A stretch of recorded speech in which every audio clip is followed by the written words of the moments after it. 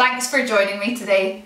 I hope you have learnt more about the Holy Spirit today, who He is, what He does, and how you can keep in step with Him.